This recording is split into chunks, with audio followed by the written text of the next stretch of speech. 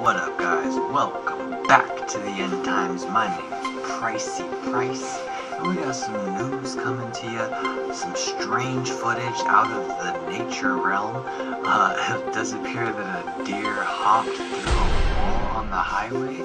Could be real, could be fake. I don't know. You guys tell me. Do you think it's a prank, a hoax, or possibly some authentic uh, supernatural footage? Also, there is a moose running on the water. Let's take a look.